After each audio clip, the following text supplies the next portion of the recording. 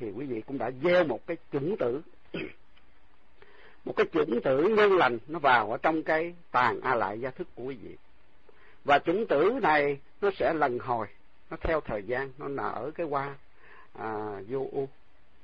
Thành ra quý vị đừng sợ rằng mình không thành phật mà quý vị phải phát nguyện phải tính lực đầy đủ. Thì thầy nói rằng trước hay sau tất cả quý vị đều thành phật rồi, mô phật thầy mời chánh minh lên đọc cái những đoạn văn kế tiếp. Dạ a di đà phật. Thế tôn, bây giờ chuyện giả có bệnh rồi biết mình không bao lâu sẽ chết, mới bảo cùng tự rằng, ta nay rất nhiều vàng bạc, chân báu, kho đồn tràn đầy, trong đó có nhiều ít chỗ đáng xài. Dùng ngươi phải biết hết đó, lòng ta như thế. Ngươi nên thể theo ý ta. Vì sao? Nơi ta cùng ngươi bèn là không khác. Nên gắn dụng tâm, chớ để sơ mất. Khi ấy, cùng tự liền, nhận lời bảo lãnh. Biết các của vật vàng bạc, tinh báu và các kho tàng, mà chọn không ý, mong lấy. Của đáng chừng bữa ăn. Chỗ của gã ở vẫn tại chỗ cũ. Tâm trí hạ liệt cũng chưa được bỏ. Lại trải qua, ít lần sau, cha mới biết ý ý chí con lần đã. Thông thái chọn nên chí lớn tự chơi tâm ngày trước. Đến giờ sắp chết, ông gọi người gọi người con đến và hội cả thân tộc quốc vương, quan đại thần dòng sát lời. Hàng cư sĩ, khi đã nhóm xong, ông liền tuyên bố rằng, các ngài nên rõ, người này là con ta của của ta sanh ra, ngày trước trong thành nọ, bỏ ta trốn đi, nổi trôi khổ sở. Hơn năm mươi năm, nó vốn tên ấy, con ta tên ấy, xưa nay ở tại thành. Ngày lòng lo lắng, tìm kiếm bọn ở nơi đây, gặp được nó. Nó thật là con ta. Ta thật là cha nó. Nay ta có có tất cả bao nhiêu của cải? Đều là của con ta đó. Trước đây, của cải cho ra thâu vào. Con ta đây, coi biết thế tôn khi đó gã cùng tử nghe cha nói như thế, liền rất vui mừng. Được điều chưa từng có và nghĩ rằng, ta vốn không có lòng cầu mong ngay kho tàng, bố này tự nhiên mà đến. Đây là phật cần xin kính thỉnh thầy. Nam mô bổn sư thích ca mâu ni phật. Thầy nghĩ tất cả đại chúng mà tụng kinh diệu pháp liên qua đến cái đoạn kinh này, thầy nghĩ rằng tất cả đại chúng sẽ rất là an vui và hớn hở. Bởi vì trong cái phần kinh này, quý vị thấy rằng đức phật trao tất cả những cái của báo lại cho chúng sinh. Có nghĩa là đức phật thọ ký cho tất cả mọi chúng sinh đều có thể thành phật. Quý vị thấy rõ ràng cái điều này. Là tại vì đầu tiên là thấy rằng cái căn của chúng sinh hạ liệt. Do đó đức phật mới từ cái nhất thừa mà ngài phân làm ba thừa. Và sau khi mà thấy chúng sinh đã có thể đảm nhận được cái nhất thừa thì ngài trao lại tất cả những châu báu để mà cho quý vị làm tài sản. Có nghĩa là những cái pháp của đức phật, ngài đã chứng như vậy, đã đắc như vậy, ngài đã giao lợi cho tất cả mọi chúng sinh. Để cho chúng sinh cũng đắc được quả phật giống như ngài. Cái đoạn này, nếu mà quý vị đọc cho kỹ thì đây là một cái sự ấn chứng, một cái sự thọ ký của đức phật cho tất cả mọi chúng sinh. Và quý vị sẽ đạt được cái quả phật như là đức phật, không có gì khác bởi vì trong cái đoạn kinh này, đức phật thấy chúng sinh căn tánh rất là hạ liệt. Đức thế tôn không thể đem một cái nhất thừa của vô thượng chánh đẳng, chánh giác. Do đó ngài dùng cái phương tiện tam thừa để mà hướng dẫn chúng sinh. Và khi mà chúng sinh đã đảm nhận, đã có thể nắm bắt được cái cái cái phương tiện tam thừa này rồi, chứng được cái tam thừa này rồi, thì chúng sinh sẽ có sự tỉnh giác. Và sau đó sẽ bắt đầu tu vào cái đạo đạo hạnh là vô thượng bồ đề.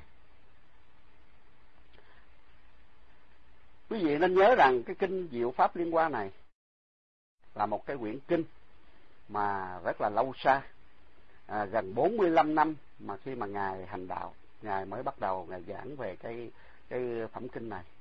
Là tại vì sao? Là tại vì lúc mà ngài thành đạo ngài biết rằng tất cả chúng sinh cái căn tánh không thể nào nhận được cái pháp nhất thừa. Do đó mà ngài không thể nào ngài diễn đạt được cái pháp nhất thừa. Đợi khi 45 năm trên con đường hoàng pháp, ngài thấy rằng căn tánh của các, tất cả các bậc thánh tiểu thừa cũng như là chúng sinh đã có thể đảm nhận được, thì ngài mới bắt đầu ngài diễn thuyết cái pháp này như vậy thì trong đoạn kinh này, đức phật đã trao tất cả vô lượng pháp môn. Và trong các pháp môn đó, nhất thừa là đệ nhất nghĩa. Đệ nhất nghĩa có nghĩa là đưa tất cả mọi chúng sinh, chứng minh cái sự an lạc và cái sự mà tịch tịnh, an vui, vĩnh cửu. Chứ không phải là cái sự giả tạm, giống như các chư a la hán đã chứng vào trong cái địa vị là vô dư niết bàn.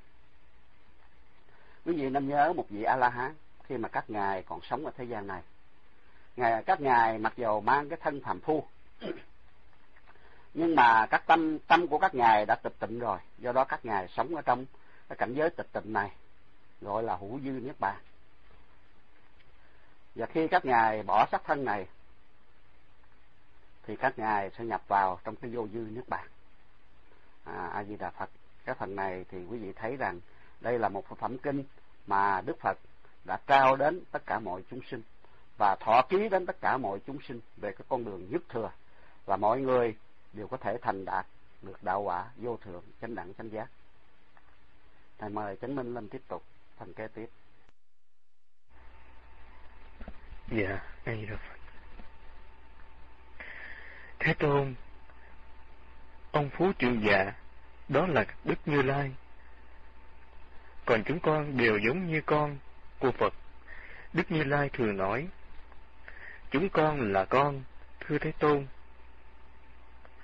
Chúng con vì ba món khổ nên ở trong sanh tử, chịu các sự đau đau đớn, mê lầm, không hiểu biết, ưa thích các pháp tiểu thừa.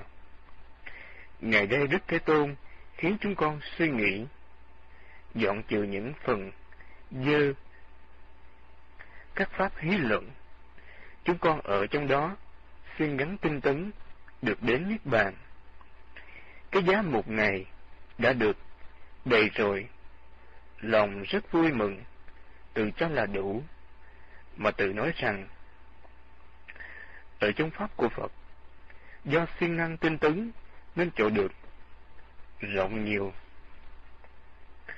Nhưng đức thế tôn, trước biết chúng con lòng ưa muốn, sự hèn tệ ham nơi pháp tiểu thừa chúng con, bèn bị phật buông bỏ, chẳng vì phân biệt rằng các ông sẽ có phần bảo tàng chi kiến của Như Lai. Đức Thế Tôn dùng sức phương tiện nói bày trí huệ của Như Lai. Chúng con theo Phật được giá biết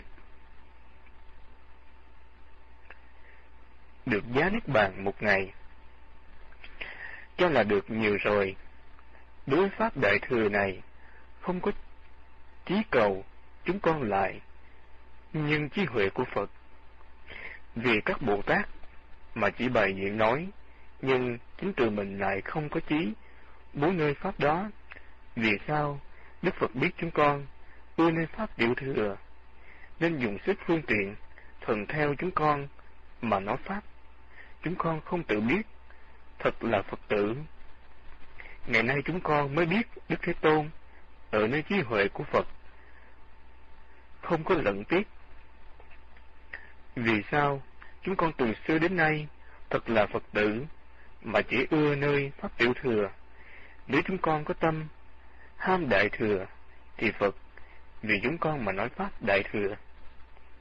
Ở trong kinh này chỉ nói pháp nhất thừa lúc xưa Đức Phật tội trước Bồ Tát chê trách thanh văn, ham pháp tiểu thừa, nhưng Đức Phật thực dùng đại thừa để giáo hóa. Vì thế nên chúng con nói vốn không có lòng mong cầu, mà nay báu lớn của đấng pháp vương tự nhiên đến, nhưng chỗ nên không của Phật đều đã được đó. Bây giờ ba ca diếp muốn tuyên lại nghĩa trên mà nói kề rằng A Di Đà Phật con xin kính thỉnh đây. Nam mô Bổn sư Thích Ca Mâu Ni Phật. Trong cái đoạn văn này thì đại chúng thấy rằng các vị thánh tăng đã dùng cái thí dụ này để nói lên cái lòng từ bi bình đẳng của Đức Như Lai.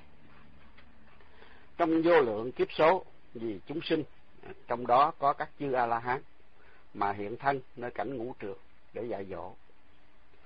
Ôi, công đức này của Đức Từ Phụ nó thật là bao la và rộng lớn. Hơn núi tu di và biển cả sâu rộng. Chỉ vì cái tình yêu thương chúng sinh, muốn cứu khổ và ban vui, ngài đã thị hiện nơi cõi nhân gian này để dạy chúng qua lời khai thị đầy từ bi. Quý vị nên nhớ rằng đức phật đã nói lời này trên cái tam thiên đại thiên này. Chưa một nơi nào mà thân ta không trải qua. Ừ, quý vị thấy đức phật tuyên bố cái điều đó.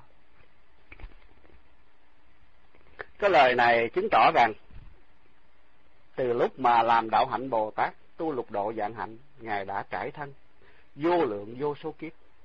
Và trong cái cõi tam thiên đại thiên này chưa có mảnh đất nào mà nó không có xương cốt của ngài ừ, như vậy thì quý vị thấy cái sự yêu thương của đức từ phụ đối chúng sinh nó rất là rộng lớn vô vàng. Và trong cái đoạn kinh này một cái điều rất vui mừng là các vị thánh tiểu thừa đã hồi tâm mà tu đạo nhất thừa. Còn bây giờ tất cả những vị thánh đó đã hồi tâm tu tiểu thừa. Bây giờ thầy và đại chúng phải làm sao đây? Thì bây giờ thầy cùng đại chúng cũng phải vậy.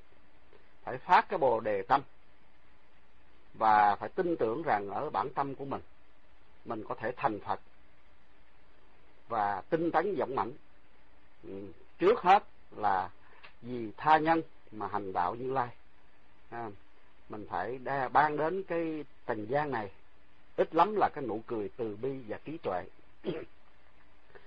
Do đó trong cái phần kinh này quý vị thấy đức phật đã thương yêu chúng sinh như vậy và khi này khi mà mình đã gặp nhau ở trên cái thế gian này à, cũng như thầy cùng tất cả quý vị trong room là có một nhân duyên rất lớn. Do đó mình hãy đem cái sự yêu thương với nhau mình phải quan tàn nhã với nhau trong cái ngôn ngữ để chi? Để mình cùng nhau ngồi một cái con thuyền bát nhã để mình trở về cái bản quốc của chính mình. Có như vậy thì mình mới có thể xứng danh là một người phật tử. Có như vậy, mình mới trả hết được ân đức của các chư phật mà ngài đã từ bi ban phát cho tất cả muôn loài chúng sinh. Qua cái câu chuyện tính giải mà các chư a la hán thí dụ, các ngài là cùng tử, thì quý vị biết rằng một vị a la hán mà còn nói mình là cùng tử, thì các ngài khiêm nhường đến cái bậc nào? Như vậy thì chúng sinh phàm tình, như chúng ta phải làm sao? Mình phải càng khiêm cung đối với tất cả mọi người, có cái sự kính trọng, yêu thương trong cái tình giải thoát. Có như vậy thì con thuyền bát nhã của thế gian này nó sẽ rộng lớn, nó sẽ dung chứa nhiều người và chính mình được cái sự lợi lạc và cho tất cả mọi chúng sinh cũng được sự lợi lạc như vậy.